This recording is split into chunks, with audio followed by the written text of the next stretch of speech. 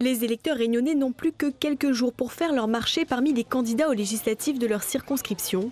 Et certains sont encore un peu dans les choux quant au choix de leur prochain député.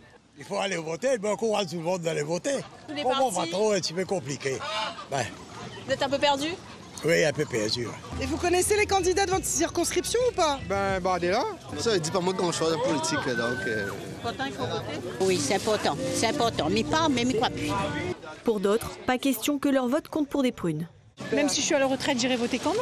Vous connaissez les candidats sur votre circonscription? Oui, je suis. Je suis pour moi, même euh, pour les enfants, pour les petits-enfants, pour l'avenir.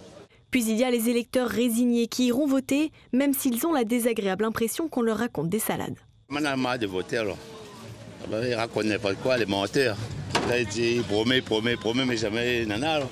Et tout ce qu'ils veulent, c'est la mettre plein, et plein leur poche. Vous en avez, vous avez pas un chouchou? Non. Non J'ai pas de toute façon, c'est tous les mêmes. Ils ont tellement menti, mais les gens ne croient plus.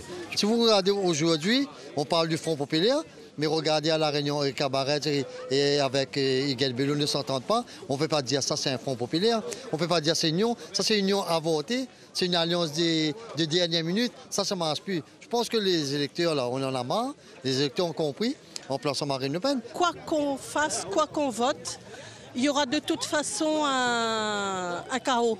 Ben oui, je m'inquiète de, de l'avenir de la France et bien, bien sûr euh, la Réunion.